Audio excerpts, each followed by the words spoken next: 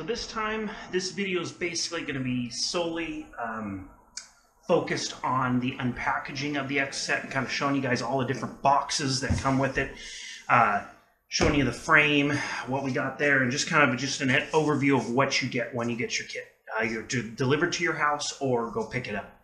So um, I'm going to go through kind of step by step how I'm unboxing it and what's in each box. I may not open up every single box, but just give you guys an idea of what the kit looks like, what's inside, how everything's positioned, and and uh, what all you get. So let's get to it. Part here is I'm going to be opening the dash pod or gauge pod uh, box. Now there's in my particular kit I had the sport kit. Um, along with the body panels. A lot of guys I know don't order the body panels. I just uh, I like I like the look of the front ones. Um, but basically, there is this box as well as your hood nose cone box and the fuel tank cover box. So um, the color that I chose, and they're all uh, painted from, or I shouldn't say painted, gel coated uh, from Exocet. Um, not 100% sure why they're gel coated, not a base coat clear coat. Um, I'm sure it's a little easier.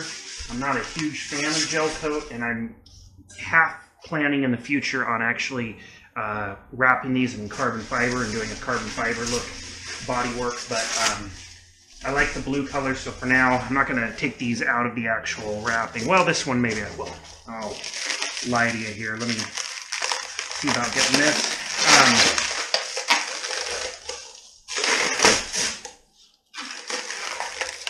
so there, so you guys can see there, that's basically um, the color of the kit there, the ultramarine blue. Um, matches fairly close to my powder coat color, not exact, but pretty darn close. So this is the uh, gauge pod. I have no clue which way it goes. I'm going to guess like that direction, maybe that direction, I don't know. So that's the uh, first, the smallest of the bodywork boxes that come with the kit. So for now, I'm just going to kind of put everything loosely back in its uh, back its protective wrap, and I'm actually going to be taking these these uh, body panel pieces back to my shop at work. Uh, as one, I'm not going to need them during the build, but two, I want to um, uh, make sure they're protected. Um, don't get scratched up and banged up here in my garage. Next part of the bodywork box is the fuel tank cover. This uh, this was the one piece that nearly made me not order the body kit because it's just absolutely horrendously ugly in my opinion. But um, I just really don't like the way it looks. But the only thing that convinced me to get this was I dislike the way the fuel tank, the Miata fuel tank, looks even more. Sorry about the shakiness here. I'm trying to do this with uh, one hand on the camera.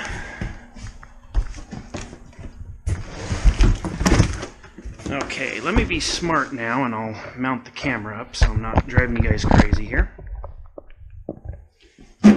So this is the box with the fuel tank cover. Um, it's kind of nice, you know, at the expense of space they did leave, and Kevin at Exomotive had told me this, you know, they leave plenty of uh, room in the box just for you know, kind of negative airspace for uh, in case things get bumped or hit. It's not completely tightly packaged. So here you go. Here's your fuel tank cover. That's in this uh, big, humongous box. I'm going to go ahead and once again just uh, package this all back up. Just wanted to take a quick peek at it. Part here is I'm basically going to get the heat shrink wrap off the uh, the chassis here and uh, see what all the boxes inside are. Uh, it's wrapped really, really nice. It's got a, I believe it was a seven mil uh, heat shrink wrap around it, so it's it's pretty cool looking. Keeps it from getting exposed to the weather. I'm gonna go ahead and just uh, split this puppy down the middle.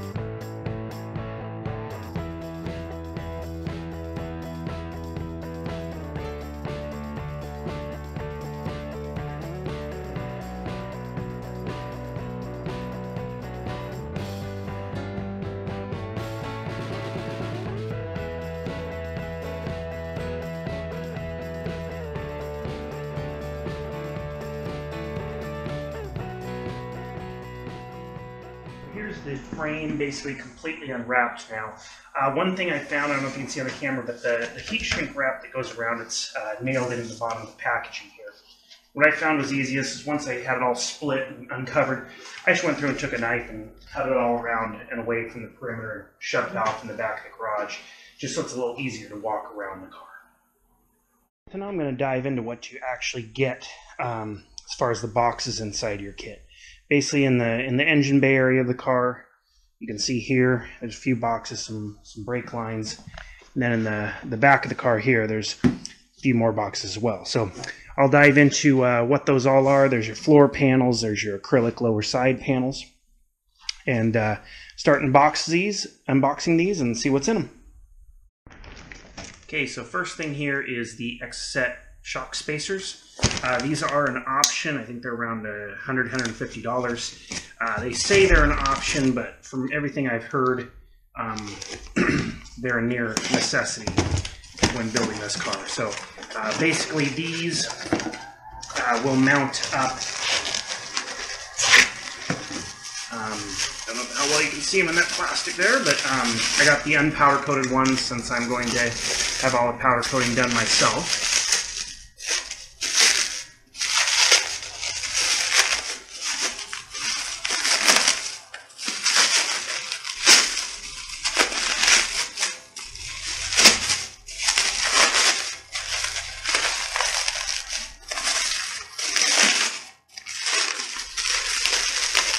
Holy cow, there's a lot of plastic wrap on those puppies.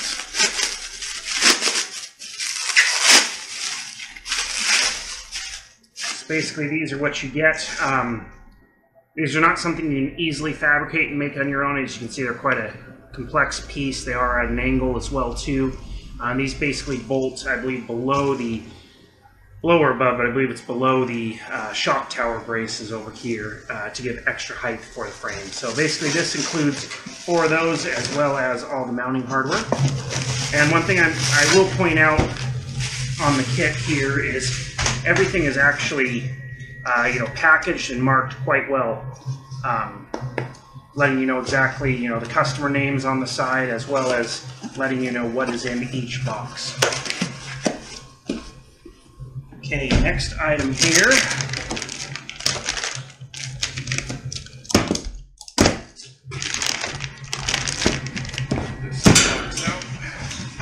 Is the wiring tray, Exomotive wiring tray. This uh, is another option. I believe it's around $150. Basically, this sits.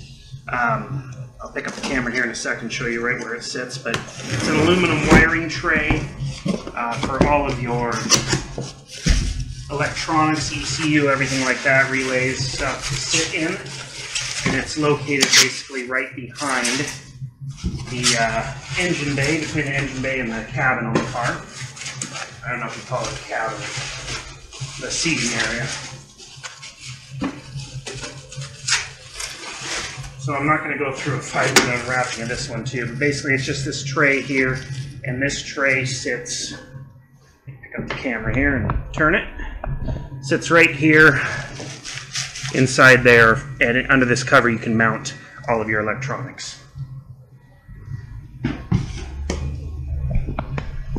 Okay, turn the camera back here for you guys and now we have Exomotive brake line kit. So uh, Cunifer brake lines that you can bend yourself. You choose that instead of flexible lines.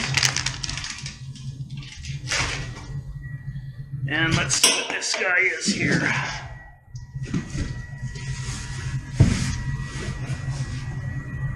Bulkhead panels. So these would be the panels, uh, I guess you would say your firewall panels, for between the engine bay and your feet. Those also, move the camera up here for you guys. These also come wrapped very nicely.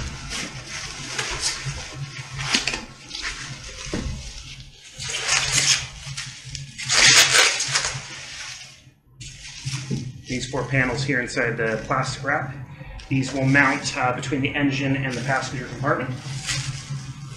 As I'm moving back toward the rear of the car to those boxes, I'll point out these uh, acrylic panels. Uh, these panels basically uh, go along the underside, lower half of the side of the car there, and you can put decals on them, vinyl wrap them, whatever you want to do. Then um, these two panels here that run the length of the floor, those are the floor panels for underneath the frame. Back to the car here. Um, there's a few boxes back here. Uh, get it cut open.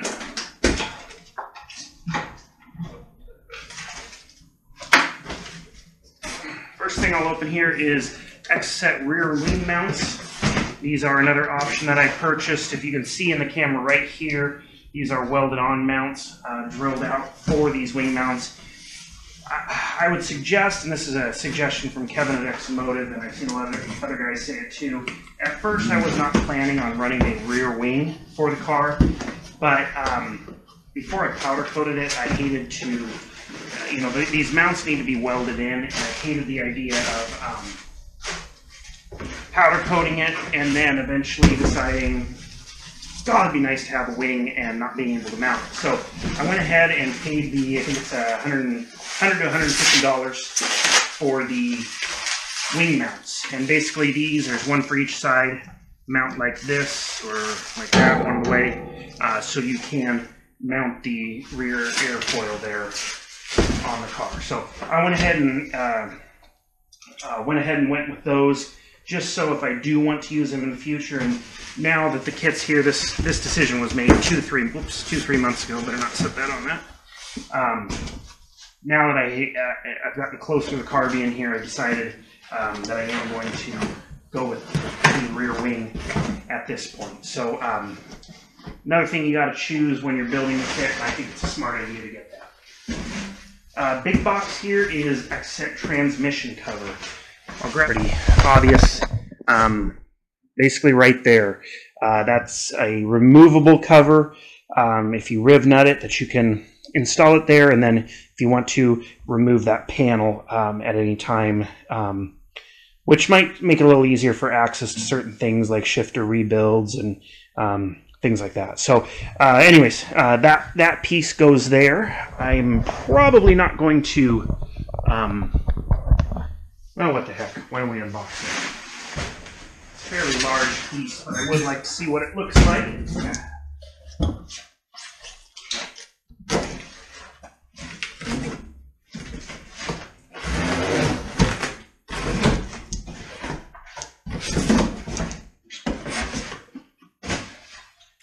We're gonna have a lot of cardboard and styrofoam to recycle here in the next few days. But basically, that's it. Aluminum sheet metal piece for your trans cover.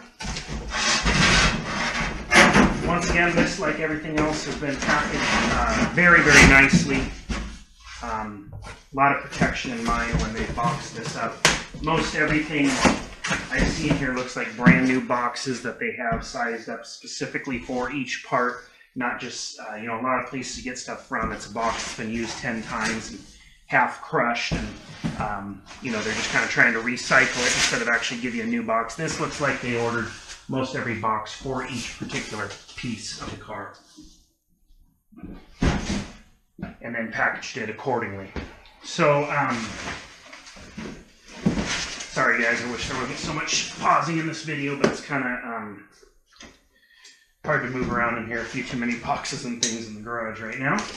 This next box here, there's two two of these boxes uh, left in the rear. This is the Exomotive Exocet Sport hardware pack. So basically, this is so here's some edge banding, which is nice for some edge of some of the pieces. Uh, let's see what else here. Also, several bags of rivets. Um, I will not be using these because I'm going to be using riv nuts um, so that the panels are removable. Bolts, screws, hardware, things like that. Your mounting bolts, everything like that. And then they have a nice um, description here of six 30 millimeter 10.9 hardness M12 bolts. So um, quite a bit of stuff in here labeled side panel hardware, uh, rear subframe hardware. Uh, pretty nice labeling there.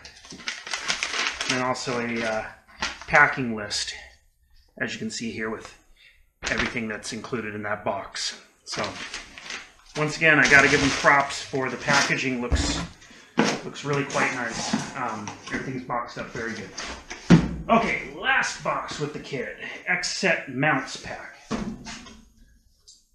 that the same thing? No sport hardware. I don't know what this is, but um, guess I'm gonna find out.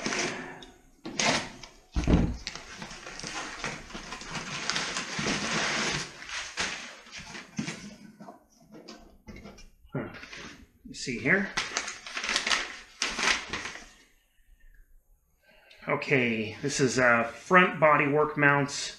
Okay, radiator mounts, rear body work mounts, uh, body work and radiator rivets, cowl hardware for mounting the cowls, and then rear wing hardware. Okay, very nice. The last part here is this nice, big, huge, enormous box. This is the front nose slash hood of the car. Obviously, it goes on the front of the vehicle. Um, I'm going to go ahead and get this unboxed. I'm not going to take a video of it because it's probably going to be near impossible to see. But um, I'll get it unwrapped and set it on the car so you guys can just get an idea of what it what it looks like sitting on the front of the car. And last part of the video here is basically this is the hood uh, nose cone area mounted on the car. Uh, I just wanted to get it on there real quick and see. I saved all the packaging and everything so that I can go over it again later. But um, pretty nice looking on there. I like the blue. I'm real happy with the, the blue I chose. I've always wanted a blue car, just never been able to have one till now. I don't know why, just that's how it goes sometimes. But um, yeah, I think I think this panel here is the one that I like the most. I think it goes the best with the car. Um, uh, I mean the the shape of it. I think it goes with the car better than the other body pieces. Um, the gauge pod looks all right, but the rear the rear tank I think is just just hideous. Um, but it does look better than the gas tank, I'll give it that. So anyways, uh, that's the end of this video. Just want to give you guys a video on basically unwrapping every box and every component out of the uh, Exocet kit. And uh, just so you guys get kind of a better idea of what's in there and what you get uh, for your, you know, eight, nine thousand dollars. So anyways, thanks for watching. If you like my stuff, please subscribe down below and hit the like button. I appreciate it. Thanks, guys.